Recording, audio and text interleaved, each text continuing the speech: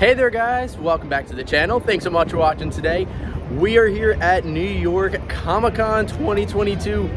We are so excited we have our badge. You see the signs right behind us. So we're right in front of the Javits Center, right before security before we go in day one. We're here for all four days, our first time at New York Comic-Con. So this we, be fun. We are absolutely pumped. We have a packed day today. Oh yeah. All, we have a couple panels to go to, some walk around the show floor, lots of stuff all weekend long. So make sure you guys, if you are not already, subscribe to the channel, turn on bell notifications, so that way you can stay tuned with all the cool stuff we have going on this weekend.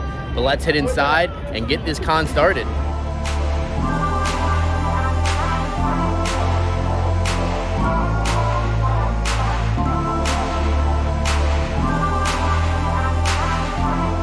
Are heading inside the convention center.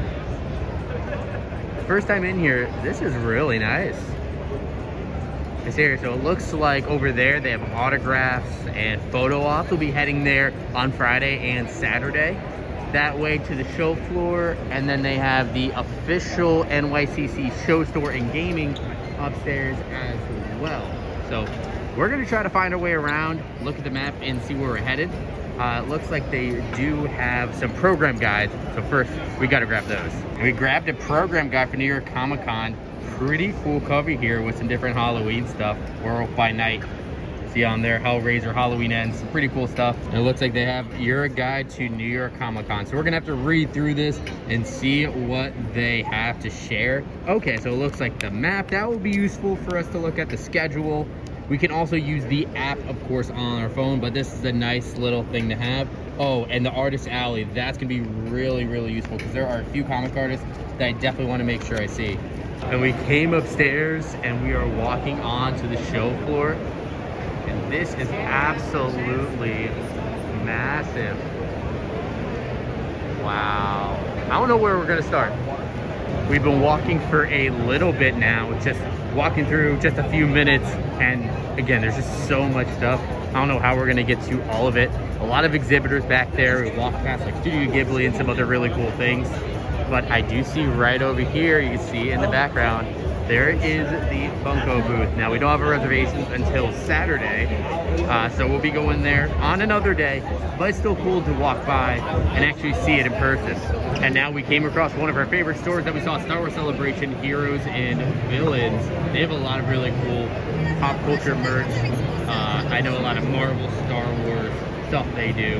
They do some pretty cool stuff like some bags, really cool Star Wars bags. This is actually the wallet uh, set that Michaela picked up during Star Wars Celebration. She absolutely loves that. But I did see online they do have a new Black Panther Wakanda Forever set. Looks pretty sick. After walking around a little bit on the show floor, kind of getting our bearings, uh, we did come over here into that main area where you can kind of go to the exit or to the main stage we saw something really, really cool right here. This is the DeLorean that looks like they'll be using in Back to the Future, the musical, hitting Broadway in 2023. That's something if we come back, I think we might gotta see. Back to the Future, probably our favorite movie. Back to the Future 2 for Michaela, but this is pretty awesome. And now we're on the other side here, and so here's another look at the Funko booth from the outside. They did a really good job. Look at that Vampire Freddy up there. That's really cool. And then right next to it, they do have the Loungefly store as well that you can go into. It looks like they have a separate line, but they're both in the same building. Pretty cool. Now we came up to the fourth floor to try to figure out, you know, where we're going because later today we have two different panels that are going to be up here on the fourth floor in room 405. Now we see people waiting right here for room 401. That is McFarlane Toys panel, I believe. That should be starting soon. So we're not going to that panel because we do have Big City Greens at 1.30 and then Solar Opposites later tonight, I believe 6 o'clock. So super, super excited for those panels, but we're just kind of figuring out where we are. Right now, we're just kind of walking around, figuring out where we're going because our first time here at the Javits Center, don't really know where things are. It actually took us a little bit to find out how to get up to this fourth floor to where these rooms are gonna be. But luckily, based on these queues, doesn't look like anything too terrible compared to like some of the other conventions that we have been to. So feels, it seems like it's gonna be a good weekend. We got most of reservations, so there's only a couple things that we have to go to that we can't uh, have reservations for. They have just wait in line. And up here on the fourth floor, one of the things we just came across, I just saw this. this crate. It says Funko Fright Night 2. Fun Lab Funko. This might be Funko stuff. Since I wasn't able to get Fright Night tickets, I might have to figure out what's in here. Maybe I'll take this as hostage for them too. No, but yeah, it says Funko on the side. Yeah, this is definitely stuff for Fright Night. Pretty cool to see. We had a little bit of time before our next panel, so we came down and we ran into the New York Comic Con official store where they have a lot of pretty cool merch. New York Comic Con, I have my eye on one thing. That's that New York Comic Con neck sweatshirt. But I haven't been able to see a lot of the new stuff they have, so I'm excited to check it out up close.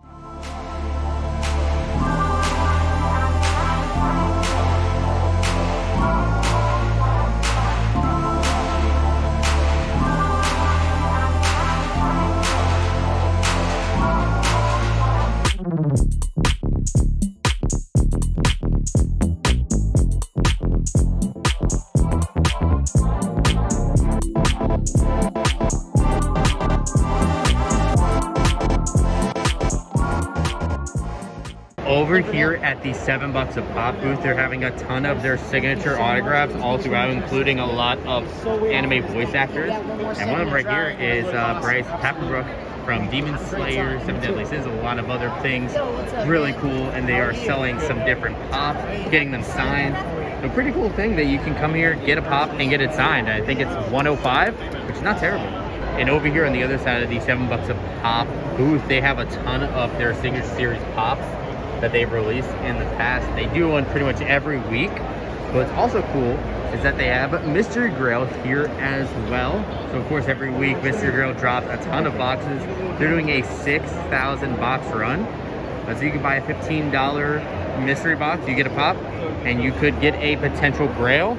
Most likely we'll get just a common and stuff, but hey, it's still it's a good chance and you don't have to pay for the $6 shipping, so it might be cool to pick one up.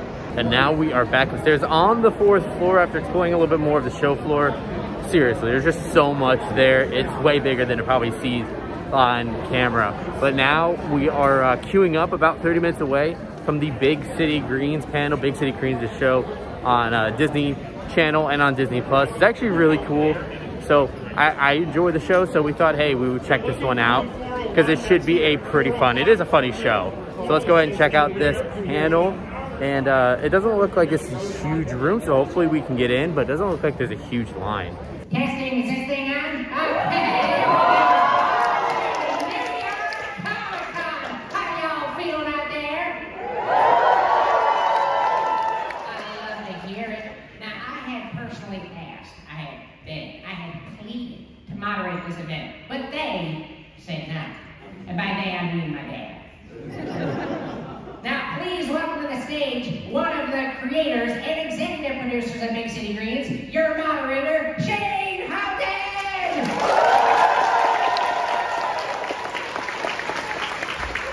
Hello, everyone. Oh my gosh, this is so exciting. Uh, that clip you just saw was from Disney Branded Television's upcoming new Nutty series, Kiff, uh, which is premiering next year, I believe. So keep an eye out for that. Uh, but hey, welcome everyone to the Big City Greens panel at New York Comic Con. We are so excited to be here.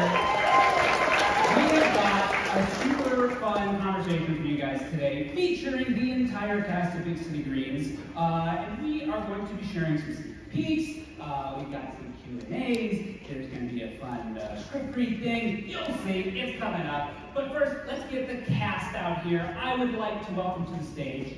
Let's see. Let me check my notes. This is uh, the other creator of Big City Greens, executive producer, my brother, and the voice of Cricket Green, Chris Houghton.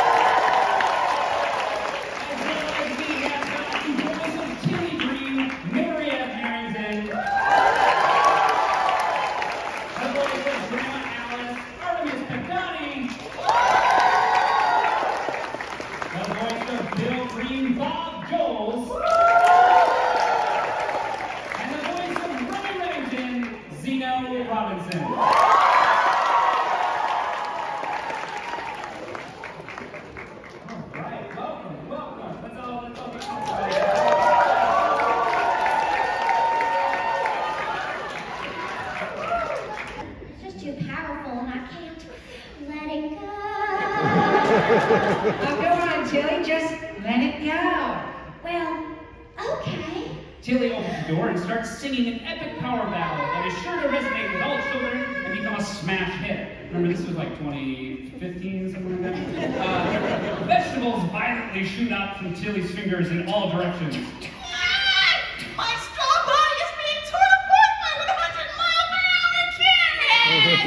Ow, ow, Tilly, stop letting it go. The vegetables blast cricket and straw off over the edge of a balcony. Tilly steps in, taking the horrific destruction. What have I done? Yeah, the executives uh, hated that one. Uh, probably because four of the five main characters die within the first act. But, uh, That panel was really awesome. That was so, so cool. It's instantly become one of our favorite uh, Disney Channel shows for sure after that. But yeah, I got a little, uh, got a little crown that's a Cricket's head, Cricket's hair, which is pretty funny. But we got some other things that we got to take home. So I know in my pocket here, first off, we got these buttons from Big City Greens that they let us take. Pretty cool. And even cooler, they only limited to 100 a signed Big City Greens poster from the entire cast and creators. That is amazing. So That's amazing, And those creators are just geniuses in like the, the kid world of the Disney Channel. So it was really, really cool. I'm glad we got in there because it was one at first we were like, oh, we like this show. We weren't sure if we were going to go. I'm so happy we went because it was definitely an awesome way to kick off, you know, New York Comic Con for us. Now after the Big City Greens panel, time for us to come down because we have reservations for the Velma panel and they gave us these awesome looking glasses. They're just paper, but they're fun. So it's about what 30 minutes until that panel starts, but we have reservations, so we're gonna get in. I'm excited to see new Scooby-Doo stuff. This is gonna be a new adult animated series going to HBO Max, which should be actually pretty cool. I would think Mindy Kaling's behind it, so she should be here as well. Cheers. Yeah, it's gonna be very exciting. That Velma panel was actually really cool. It was surprised because they actually showed the entire first episode of the series. I was not expecting that at all, but it looks really good. Mindy Kaling, Constance Wu, Sam Richardson, Glenn Howerton, uh, really, really good cast. So it's actually gonna be really good. They said it's gonna be dropping in 2023. They even showed us another teaser, which I'm sure is gonna drop online if hasn't already at this point. Uh, but definitely a cool show to look forward to. But now we are heading back upstairs. We're back on the fourth floor because the Solar Opposites panel, this is the one we've been looking forward to all day. One of our favorite shows on TV right now is in just about 30 or 40 minutes. So we're gonna be coming up here waiting for that because we wanna try to see if we can be as close to the front as possible for this panel. We absolutely love this show and these characters, so we're super stoked about it. And now we just got out of the Solar Opposites panel, which that was awesome. We love Solar Opposites, one of our favorite shows on TV right now. They showed a little clip of the Halloween special that we already watched, but they gave us some nice little surprises that they got renewed for season five already. They're uh, doing season four next year. Show us a little like animatic of season four. Very, very cool. We're super excited about that. And they're doing more uh, holiday specials as well. So super cool that we're gonna keep getting solar opposite stuff. And right before that, they showed more of like some other stuff that Justin Roiland's doing, like uh, some the Paloni's, Paloni's Halloween special. It's gonna be coming to Hulu later this month as well. So Justin Roiland was all over the place, but he wasn't there because apparently he's sick, so he couldn't be here, unfortunately. But we were still able to see a lot of really cool stuff that's coming from him. So we're excited. But you know, we are at the end of our day here at uh, New York Comic Con Day One. So we're just walking through the show floor, seeing maybe we can go to the Funko booth or, or something, see if we can check out anything else before we call it a day. So luckily we were able to come over and come inside the Loungefly side. They did close the Funko side of the booth, but Loungefly is open here. And they have a lot of their exclusives. It's pretty cool ones. I like that Boba Fett one they have there. Rex is pretty cool. They got a couple of stick backs over there as well. And if you want to see the other side of this booth where Funko is, there it is. I like the skeletons on top. It actually looks really, really cool. And they have a Funko sign up there too. They have a portrait of uh, Freddy over there as well. So this is the Frightmare on Fun Street area. And it looks like uh, they have a couple things behind there. It looks like they have one of the three liter sodas. I think that's the five-headed dragon from Yu-Gi-Oh, I would think. So they still have some exclusives sitting out, but probably a lot has sold out. And right near the Funko booth, they actually have the eBay booth here. And eBay is getting big into Funko and collectibles. Of course, they made a huge investment in Funko. And they have, I'll show it back, they have this pretty cool uh, eBay player pop. And oh, Miguel just pointed out right here, showing that they had the sign up that says out of Funko today, come back tomorrow. So I guess they were selling some pops today, maybe some exclusive eBay pops. So that is the conclusion of day one here at New York Comic Con. I felt like we did a ton of stuff. What was your Right. favorite thing you did today? Big City Greens panel, that was the best. Seeing like the entire cast was amazing. The energy in that room, I think, was insane. It was like so much higher than anything else we did today. They were definitely prepared for their panel because there's a lot of panels you'll go to that the moderator will have questions but will run out. In this one, in the Big City Greens one, they had their questions. They did some mock um, scripts, like a table read, and they asked questions in the audience. So they took up their entire time. Yeah, I definitely have to say Big City Greens is my favorite as well. They were just so well done. And yeah, we went to a few panels today. Velma Not- was awesome. Yeah, so- Velma was definitely a really big surprise for me. I was not knowing what to expect from that. I just knew it was probably going to be good because of Mindy Kaling, because we're big Mindy Kaling fans. But then to see the first episode of the show that's coming out next year was That- kind of insane to me. And they did end up dropping the teaser online, so you guys can watch that uh, online right now for Velma. So, so a lot of really cool stuff. I was excited to see Solar Opposites was renewed for season five and four, so that's awesome to see. Uh, but now just being here on the show floor, actually getting to learn what this building is, I think was very helpful today.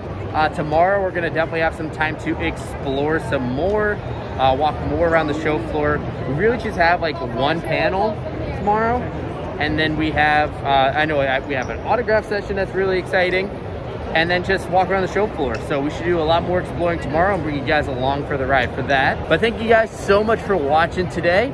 If you guys did enjoy the content, make sure you hit that subscribe button. Also leave a like in this video as well if you enjoyed it.